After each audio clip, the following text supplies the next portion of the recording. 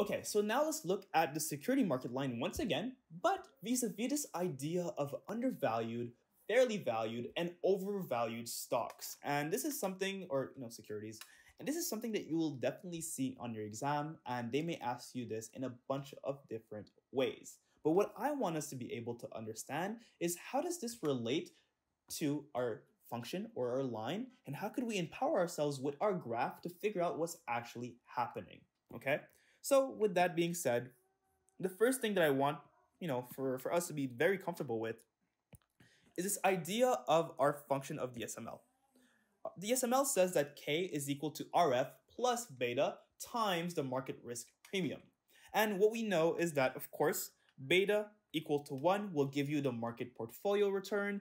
And we know that depending on any given point that we take, we could take beta is equal to 0.2, but we could also take beta is equal to 3, all these different points will provide to you a different k, right? So based on our independent variable being beta on our horizontal axis, we will be able to get a different k, which is exactly what our return will be, okay? So with that consideration in mind, we want to know, well, what happens, okay, to the price of a security or position vis-a-vis -vis the beta we've incorporated okay?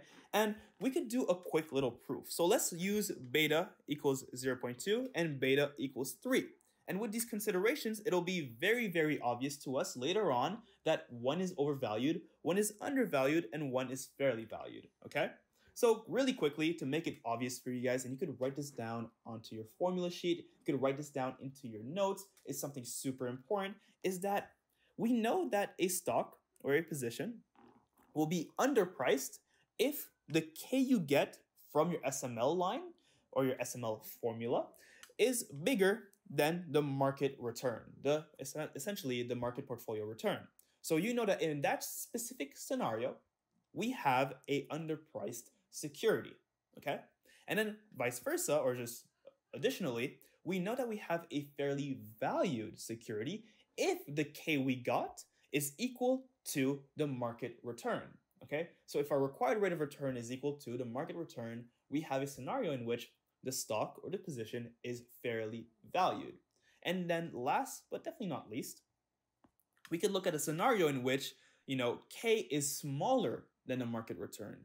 Then we have a scenario that is actually overpriced, in which our required rate of return is smaller than the market return. And in this case, we would say that something is being overpriced.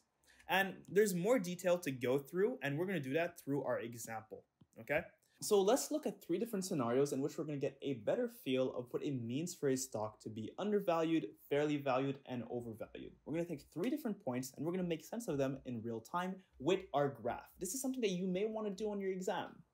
So let's take a random point, call it, you know, right here, point A, and we're going to look at what it says beta, in this case, we'll give it a beta right here and an expected return right here. All right, so we have this. Call this return 20%. All right, and we're going to say that its beta is 0 0.5. All right, for point A. So ER there. All right, so with that being said, what we want to know is, well, how does this compare to our market return? So obviously, our market return will be based on our SML. So whatever is on our SML, which is right here, call it point x, will give us a return versus our return of ERA. Now we quickly see that there's a whole lot of difference between the two. There's this whole area in which R, this is typically what we call our alpha, but we could say that ERA is bigger than ERX. And for that reason, we could say that the stock is actually undervalued. Our stock is undervalued because there are much more returns that are being made by our investors at this point. There are much more returns being made. And this is what we call actually alpha. All right. There are much more returns that are being made over the SML. So this is what we call a point that's being undervalued. But conversely, let us look at a different point. Let's look at a point at which, for example, right here, okay? This is our point. We're going to call it point B. All right? and it lies directly on our SML. So that would mean that regardless of whatever, you know, math we do, whatever we have as our K, B, will be equal to our ER, B. And that would mean that our stock is fairly valued. And once again, you could definitely run the math and you'll see that it makes total sense. So we have a stock that is fairly valued. Now, the last consideration we're going to make is, let's use, call it orange. We're going to look at a point that is right here, okay? So you have point C. It's giving you, you know, any, it's giving you something that's small, call it 3%. And you know that that level of beta, so you have a whole lot of beta, you have a little bit of returns, and you know that at that point, for that given level of beta, if you were on the SML, you would have much more returns. In this case, something around 18%. Right? So this would mean that you're losing this much, this much value. All right? This much return. That would mean that, hey, you're losing much more returns than what you're actually supposed to get. In this case, we would say that this is totally overpriced.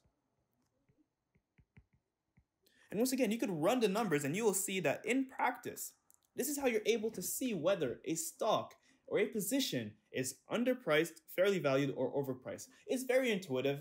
You don't necessarily have to do, you know, a price example, but what you want to know is that depending on what our K is vis-a-vis our market return, we'll be able to see, well, hey, is it underpriced? Is it fairly priced or is it undervalued?